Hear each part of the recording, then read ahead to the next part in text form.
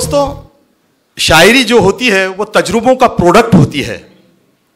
शायर अपने एहसास को, अपने जज्बात को, अपने ख्यालात को अशार के कालिब में, अशार की सूरत में ढालने का हुनर जानता है।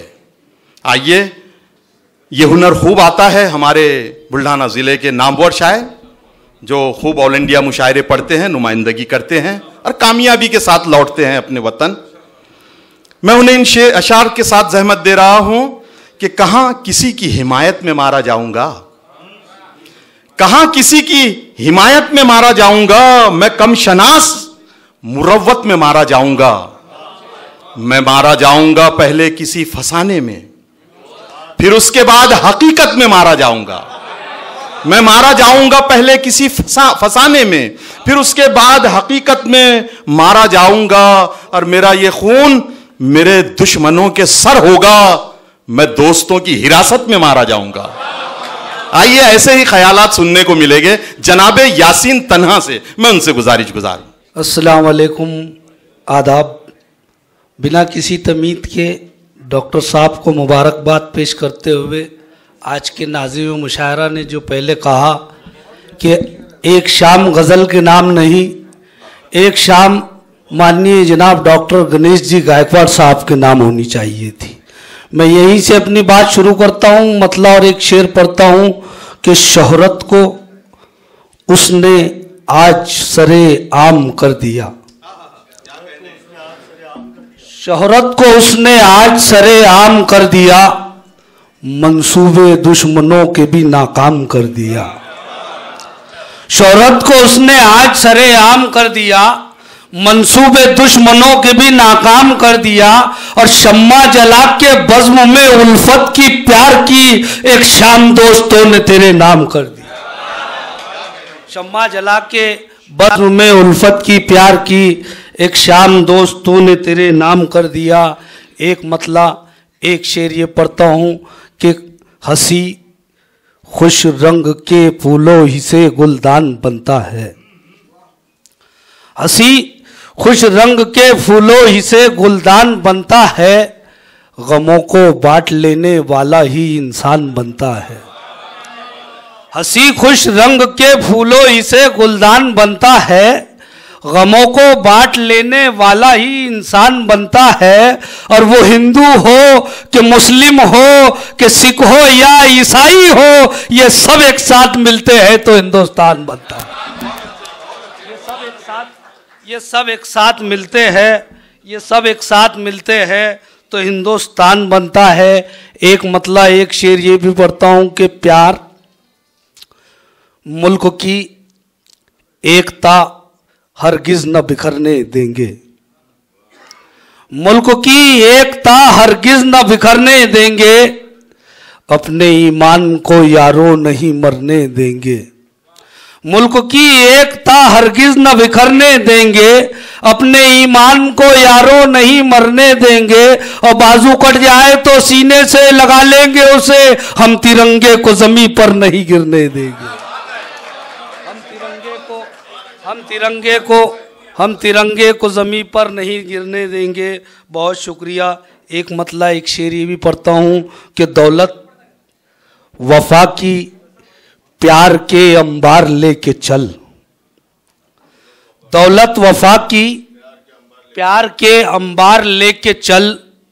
अपने बड़ों के जैसा तू किरदार लेके चल। दौलत वफा की, प्यार के अंबार लेके चल। अपने बड़ों के जैसा तू किरदार लेके चल। और सरहद पे क्या मजाल के रखे कोई कदम, अब्दुल हमीद जैसा वफादार लेके चल।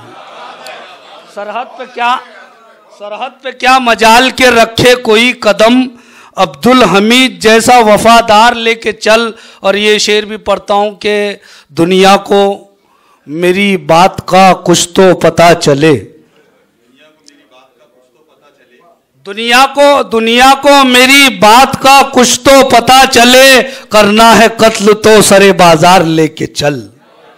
करना है कत्ल तो सरे बाज़ार लेके चल और मख्ता पढ़ता हूँ कि मुद्दत से जल रहा हूँ मसाइब की धूप में। मुद्दत से जल रहा हूँ मसाइब की धूप में। तनहा कोई तो साया दीवार लेके चल। तनहा कोई तो साया दीवार लेके चल। मुख्तसर सी एक गज़ल के दो तीन शेर। मतलब पढ़ता हूँ कि शब के सीने में चमकता हुआ जुगनू बन जा शब के सीने में चमकता हुआ जुगनू बन जा हो सके तो किसी।